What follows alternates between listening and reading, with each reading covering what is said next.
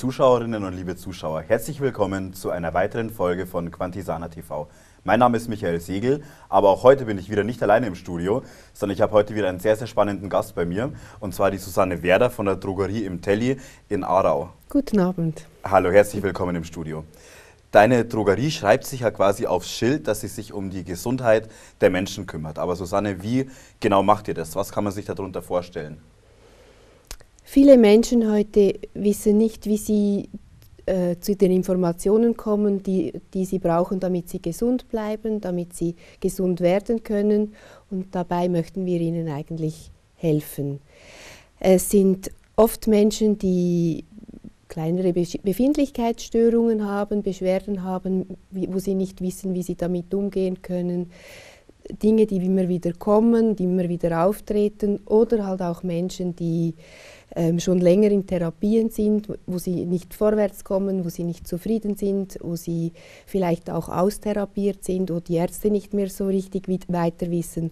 Und da versuchen wir, diesen Menschen zu helfen.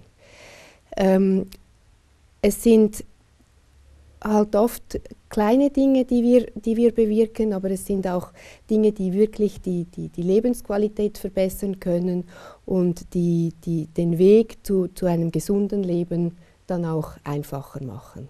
Das heißt im Klartext, ihr seid nicht nur eine klassische Drogerie im Sinne von, ich gehe mal hin und hole mir vielleicht meine Nahrungsergänzung ab und gehe wieder, sondern ihr habt euch jetzt quasi zur Aufgabe gemacht, dass ihr quasi den Menschen auch wirklich fachgerecht und professionell betreuen könnt und dass er dort einfach auch gewisse Antworten auch bekommen kann. Habe ich das richtig verstanden? Das ist genauso. Natürlich haben wir auch ein, ein, das ganz klassische mhm. Drogeriesortiment. Wir haben ein Schmerzmittel, wenn jemand einfach Kopfschmerzen hat mhm. oder Halsschmerzen, wenn jemand Hals, äh, ein Halsschmerzmittel will dafür. Wir, wir verkaufen auch Problemlöser im, im Haushaltsbereich, wir haben Babynahrung, aber unser Hauptfokus ist ganz klar auf den Naturheilmittelbereich. Wir achten auch darauf, dass wir ähm, unsere Ausbildungen wirklich ähm, ständig weitertreiben. Ich habe sehr gute Mitarbeiterinnen, die da gut mitmachen, die, da, die sich weiterbilden und entsprechend ähm, heben wir uns so auch von, von anderen Geschäften ab in dieser Art. Mhm. Wir haben auch einen Beratungsraum zum Beispiel, wo wir dann Zeit und Ruhe haben, um unsere Beratungen durchzuführen. Wir haben auch Therapien, die wir anbieten, wie zum Beispiel die Bioresonanztherapie oder ich habe eine Fußreflexzonentherapeutin auch.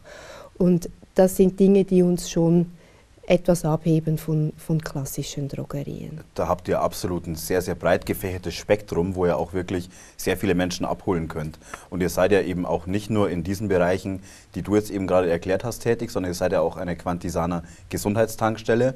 Das heißt, ihr, seid ja, ihr habt euren Sitz direkt in der Mitte von dem Einkaufszentrum eigentlich. Genau. Und da kann man bei euch quasi vorbeigehen, kostenlos das Wasser abholen äh, sich ein bisschen durch die, durch die Schränke wühlen und schauen, ob man etwas gleich mitnehmen möchte und auch am Energy atmen.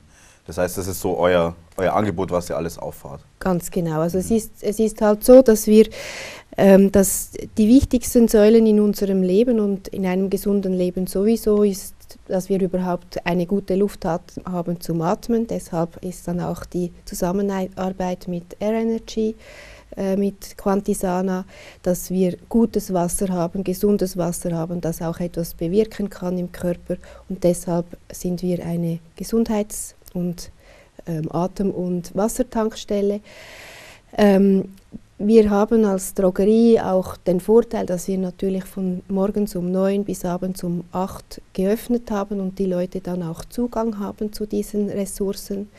Und eben daneben haben wir natürlich unsere Nahrungsergänzungen, unsere gesunden Ernährungsmittel, Naturheilmittel aller Art, um um gesund zu bleiben. Das heißt, dann seid ihr eine von den wenigen Gesundheitstankstellen, wo man sich quasi davor nicht per E-Mail anmelden muss, sondern wo man quasi einfach sagen könnte, ah, jetzt habe ich gerade eine halbe Stunde Zeit, vielleicht in der Mittagspause oder vielleicht nach dem Feierabend, um einfach schnell vorbeizugehen und eine halbe Stunde zu atmen. Ganz genau. Super. Ganz genau. Und äh, generell, weil wir gerade vom Vorbeilaufen sprechen und kurz Zeit, welche Art von Menschen kommt denn zu euch und mit welchen Problemchen vielleicht auch und wie könnt ihr denen helfen? Also wir haben eigentlich alle Arten von Menschen. Wir haben sicher in erster Linie Frauen, weil die Frauen sind für die, die, die, Gesundheit der Familie zuständig. Meistens kommen die Frauen, wenn sie mit dem ersten Kind so zwei, dreijährig sind, wo nicht mehr der Arzt oder die Hebamme oder die Mütterberatung immer gerade zur Verfügung ist und doch halt kleinere Beschwerden bereits vorhanden sind. Ähm, wir haben aber auch immer mehr Männer, weil auch die Männer beginnen sich mit ihrer Gesundheit auseinanderzusetzen. Ähm, natürlich ist auch nicht immer eine Frau zur Verfügung, die dafür sorgt. Und Männer sind sicher eher kritisch oder auch skeptischer gegenüber äh, dem Thema Naturheilmittel. Aber wenn sie dann erfolgreich sind und ihr Problem gelöst haben, sind sie umso dankbarer. Hast du in deinem Team auch einen männlichen Berater? Nein, wir sind nur Frauen. Aber, aber deine, deine Damen können bestimmt auch den, den Männern und uns weiterhelfen. Genau, also die Männer, die sind gut aufgehoben bei uns. Okay, super. Und äh, welche Ausbildungen habt ihr oder welche Instrumente nutzt ihr? Also was sind so eure Werkzeuge? Einmal vom Wissen her und einmal natürlich auch so von den Hard Facts her. Also unsere, unsere Instrumente sind einerseits, dass wir die, die, die ganze eigentlich ganz viele verschiedene Naturheilmittelarten haben. Also wir arbeiten einmal mit spagyrischen Essenzen, das ist ein ganz großer Punkt. Da mischen wir für die Leute auch gezielt Mischungen. Ähm, da kann man sagen von A bis Z, also von einer Augenentzündung bis hin zu Zahnfleischbeschwerden oder Zahn Zahnbeschwerden bei Kindern können wir auf ganz viele Themen eingehen. Wir arbeiten aber auch mit Schüsslersalzen. Ähm, das ist ein großes Thema. Auch da machen wir Mischungen für die Menschen, die zu dem Thema, was sie benötigen. Wir haben ähm, Vitalstoffmischungen, die wir anbieten, die wir auch gezielt machen können. Das machen wir aufgrund auch von verschiedenen Analytiksystemen, sei das einer Haarmineralanalyse oder einer, einer DNA-Analyse, wo man die Gentests, also die Gene anschaut. Darf ich hier kurz unterbrechen? Ja, äh, wie schnell funktioniert so ein Test? Muss ich, geht das quasi sofort bei euch? Geht es instant? Kann ich das Ergebnis gleich mitnehmen? Oder ist es dann doch so, dass es einfach ein bisschen länger dauert, ins Labor geht? Nein, das ist schon so. Dass da, da arbeiten wir mit Laboren mhm. zusammen, mhm. die gezielt ähm, die ausgerichtet sind auf diese Arbeit. Und äh, das braucht dann schon bei einer Haarmineralanalyse eine Woche, bei einem Gentest sind das dann halt schon mal zwei bis drei Wochen, wo wir, bis wir die Resultate haben. Mhm. Aber da haben wir auch immer Zeit, die Leute auch vorzubereiten in dieser Zeit und den Termin schon zu machen, damit wir dann genügend ähm, Zeit haben und Ruhe haben, um, um diese Resultate auch zu besprechen. Mhm. Weil das ist uns wichtig, dass die Leute dann damit auch etwas anfangen können. Absolut, so kann man auch nur, also es ist die einzigste Art und Weise, einen Mehrwert stiften zu können. Ganz genau. Absolut. Und was ist so euer, euer Haus, eure Hausspezialität? Ich habe ein paar Dinge mitgebracht. Wir produzieren sehr vieles auch selber. Ah, ihr macht tatsächlich auch noch selber diese ganzen Mischungen? Wir, wow. haben, ähm, wir haben ein Labor und wir produzieren jetzt im Moment ist zum Beispiel ein Erkältungsschocker ein ganz wichtiger Artikel, weil einerseits um das Immunsystem zu stärken und aber auch den Käfer wieder fortzujagen. Ja. Ähm, wir machen Salben in den diversesten Ausrichtungen. Wir haben aber auch äh, zum Beispiel Hustensirup, wo wir, was wir, den wir herstellen. Und wenn halt auch die Leute mit gezielten Problemen kommen, wie zum Beispiel Windpocken bei kleinen Kindern oder eine Frau hat immer wieder Probleme mit, mit, äh, mit ihrer Haut, dann können wir ganz gezielt da auch Emulsionen oder eben auch Mischungen produzieren. Mhm. Das ist sehr, sehr spannend, weil für mich stellt sich jetzt gerade nur die Frage, was bewegt eine Drogerie dazu in der heutigen Zeit, wo ich mir eigentlich so gut wie alles irgendwie und irgendwo in den verschiedensten Qualitätsstufen besorgen kann. Was bewegt eine Drogerie dazu, dass man wirklich sagt, okay, ich stelle mich quasi selber noch äh, hinter meinen Kessel und, und, und mache mir meine Sachen quasi einfach selber. Was hat euch dazu bewegt? Es ist so, dass, dass die Bedürfnisse der Menschen, die werden immer individueller. Mhm. Und die Menschen sind alle anders. Also keiner ist gleich und keiner, keiner braucht das genau das Gleiche wie der andere. Und das ist eigentlich unser Credo, dass wir auch darauf eingehen wollen. Und deshalb ist es uns auch so wichtig, dass wir, dass wir die Ursachen auch den Ursachen auf den Grund gehen, dass wir herausfinden, was denn eigentlich das Thema ist und nicht einfach nur die Symptome bekämpfen. Und dann, das hat dann auch dazu geführt, dass wir eben halt ganz vieles auch selber produzieren. Mir ist es auch ein Anliegen, wir, wir versuchen das in der Beratung immer hervorzuheben, dass es ist, wie wenn man ein Haus baut. Es ist, es ist so, man hat vielleicht eine Situation, man muss aber zuerst mal schauen, ob dann das Haus da überhaupt hält. Man braucht Bausubstanz, damit das überhaupt vorhanden ist, muss auch wissen, ob genügend vorhanden ist. Und dann braucht es Arbeiter und es braucht einen Architekten. Und so arbeiten wir eigentlich. Also wir, wenn man das jetzt so vergleicht, haben wir die, die, die, die Analysen, sind dann der Ingenieur, der mal schaut, wie die Situation ist. Mhm. Ähm, die Bausubstanz sind zum Beispiel die, die Vitamine, Mineralstoffe, die Aminosäuren, die Fettsäuren und halt auch die Ernährung. Ähm, der Arbeiter ist dann der, der, die, der mal schaut, dass die, die Mauern gebaut werden können und dass die Türen eingehängt werden. Das ist dann zum Beispiel die Spagyrik oder die Pflanzen, die, die wir zur Verfügung haben. Und der Architekt, das sind zum Beispiel die Schüsslersalze, der sagt dann noch, da muss etwas passieren im Körper und da muss etwas passieren. Und so bekommen wir eine stabile Situation. Das Haus fällt nicht gleich zusammen, weil wenn wir nur den Arbeiter und den Architekten auf dem Platz haben, mhm. dann können wir auch kein Haus bauen. Klar.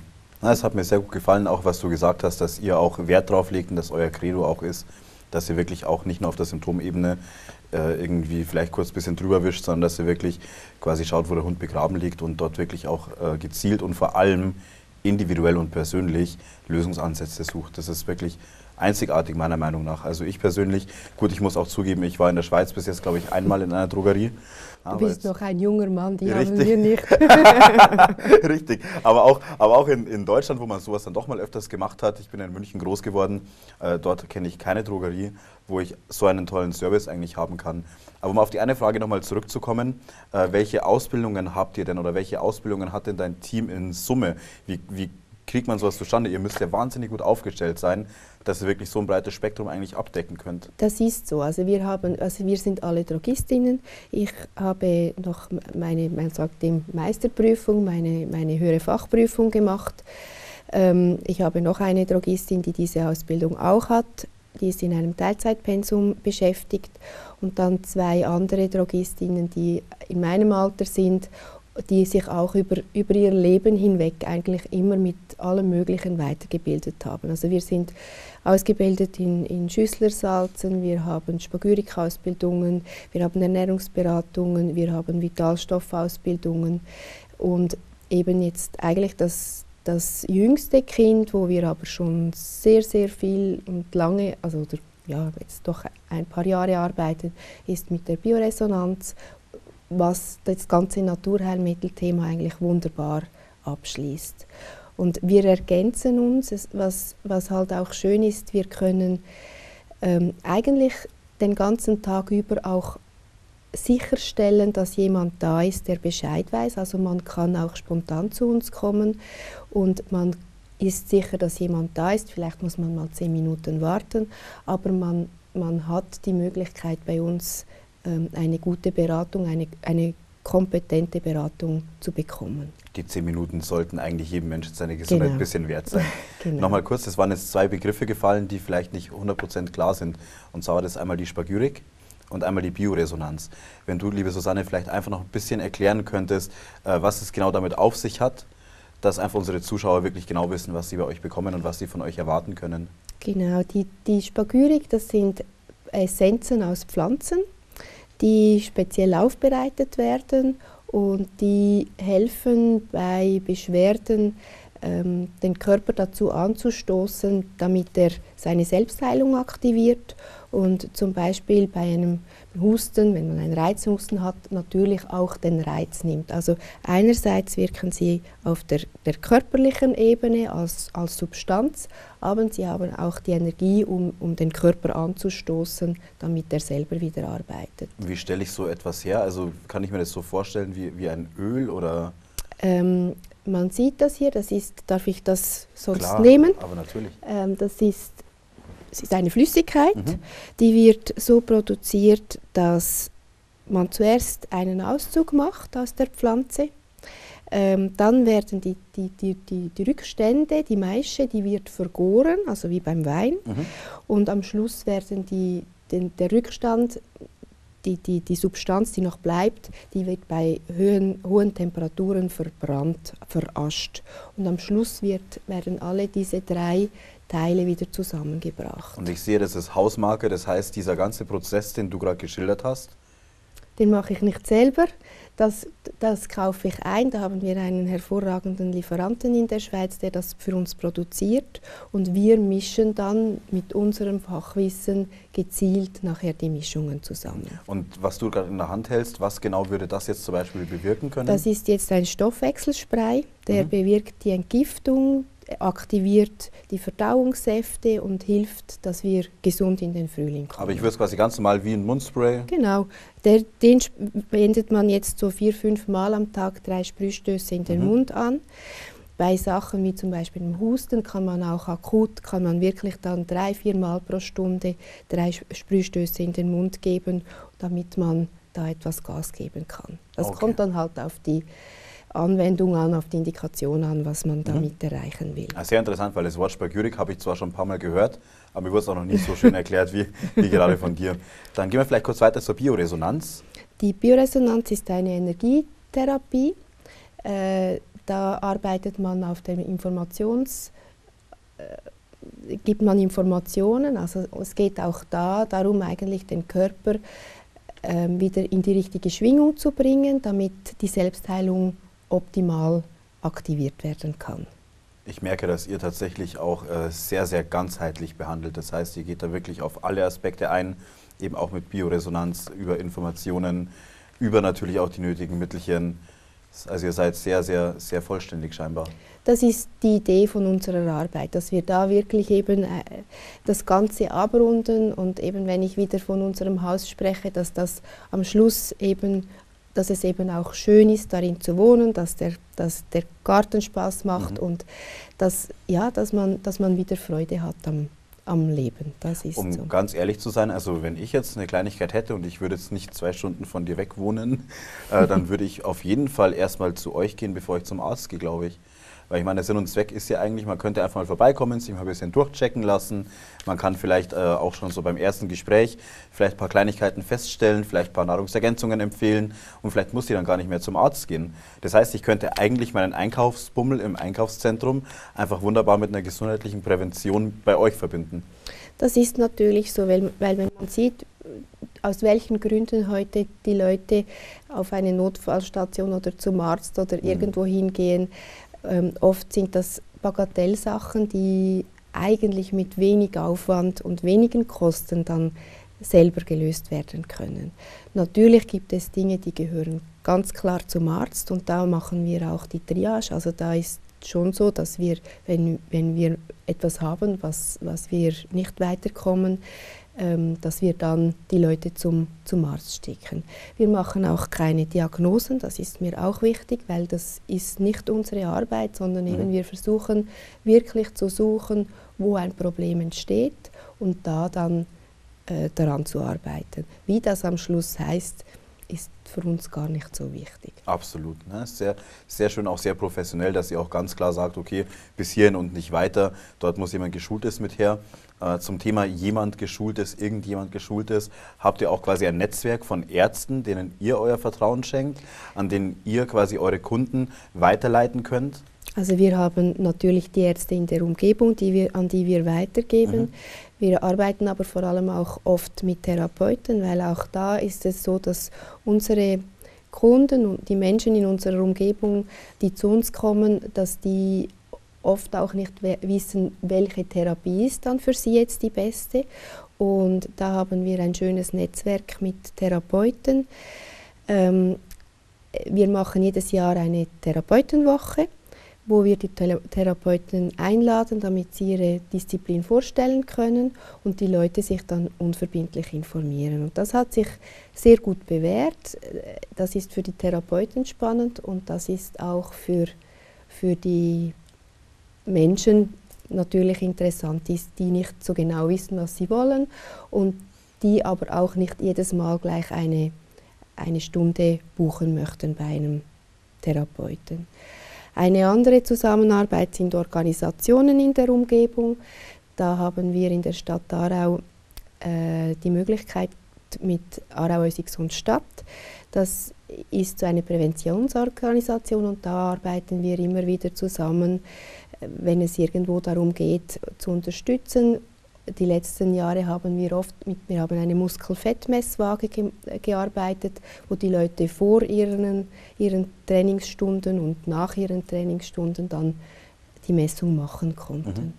Oder was wir auch anbieten, ist, wir helfen Firmen, ähm, ihre Mitarbeiter gesund zu halten, weil gerade kleinere Unternehmen, mittlere Unternehmen oft nicht die Ressourcen haben, um Gesundheitsberater zu mhm. beschäftigen und vielleicht auch das Wissen nicht haben. Und da haben wir die Möglichkeit, dass wir von unserer Seite her beratend unterstützen. Ja, und es ist ja doch auch so, dass die Mitarbeiter halt auch, egal ob groß oder klein, sind halt das Rückgrat von jedem Unternehmen. Ja? Genau. Man muss natürlich schauen, dass es ihnen gut geht, dass sie, dass sie sich wohlfühlen, dass sie gesund sind. Und man, möchte, man, man gewinnt nur, wenn man gesunde Mitarbeiter Absolut. hat. Weil nur jeder Tag so. kostet viel Geld. Absolut, ja. Und das ist wirklich sehr, sehr spannend. Je länger wir uns unterhalten, desto mehr verstehe ich eigentlich, was ihr da eigentlich macht und was ihr eigentlich seid. Also wenn man das mal runterbrechen möchte, könnte man eigentlich sagen, ihr könntet so der erste Gesundheitsanlaufpunkt sein. Und ihr habt dann noch einmal natürlich eure Kompetenzen, die eh schon sehr, sehr weit gefächert sind.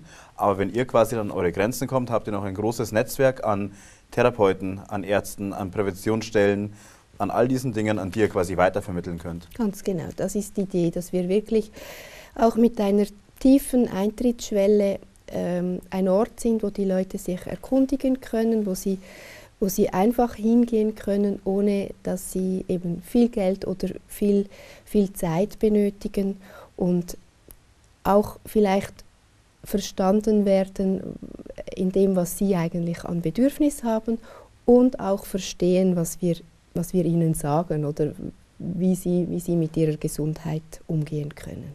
Ich könnte mir vorstellen, dass es bei euch dann auch recht familiär zugeht. Also nicht wie in der klassischen Arztpraxis, wo man im Wartezimmer sitzt und man fühlt sich allein schon krank, weil man so lange da sitzt, so ungefähr. Sondern bei euch ist es wahrscheinlich recht familiär. Ihr seid wahrscheinlich recht nah am Menschen, so wie ich dich jetzt einschätze und was du jetzt erzählt hast. Das ist uns ein großes Bedürfnis, dass wir Zeit haben für die Menschen und dass wir dass wir, ähm, ja, dass wir freuen uns jeden Tag, wenn wir arbeiten können. Es ist irgendwie gar nicht mehr Arbeit, sondern eben man, man trifft sich, man, man, man tauscht sich aus und ähm, hat jeden Tag immer wieder schöne Erlebnisse. Das ist schön zu hören. Ich sage immer, das ist genau dieser Unterschied zwischen Job und Beruf. Das eine macht man, um Geld zu verdienen und genau. das andere ist einfach eine gewisse Berufung. Und das merkt man bei dir auch, dass du da wirklich mit Leidenschaft dahinter stehst.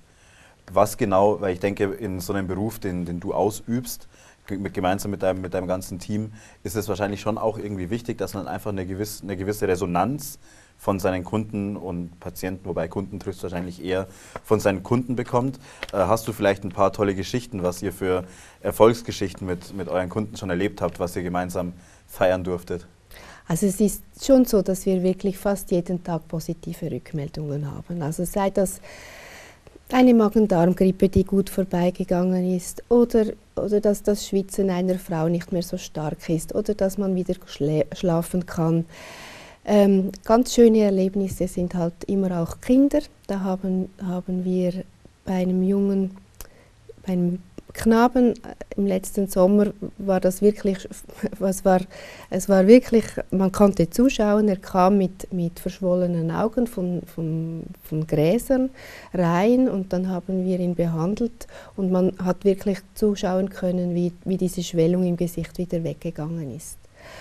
Oder eine Mutter mit einem Kind, das ganz stark Ohrenweh, Ohrenschmerzen hatte, äh, hat mich nach zwei Stunden angerufen und gesagt, dass das Ohrenweh jetzt einfach weg ist. Und das sind schon schöne Momente, wenn man sonst weiß, wie die Kinder leiden und natürlich die Mütter mhm. dann auch. Ja, man weiß vor allem auch, warum man in der Früh aufsteht und warum man das macht, was man eigentlich Ganz macht. Ganz genau. Habt ihr als Gesundheitstankstelle von Quantisana auch schon Erfahrungen gemacht in Bezug aufs Wasser, auf den Energy, gewisse Begegnungen mit den Menschen. Was durftet ihr da schon mitnehmen und, und lernen und erfahren? Also mit, bei der Wassertankstelle, da haben wir täglich schöne Erfahrungen, weil die Leute wirklich immer wieder kommen und, und sich Wasser holen. Und spannend ist auch, sie trinken auch oft gleich an der Wassertankstelle. Also es wird wirklich der Durst gelöscht. Es sind halt auch sehr viele schöne Erfahrungen, weil diese Leute auch wirklich interessiert sind an, an Gesundheit, an, an, auch an unseren Produkten natürlich, an, an diesen verschiedenen Dienstleistungen.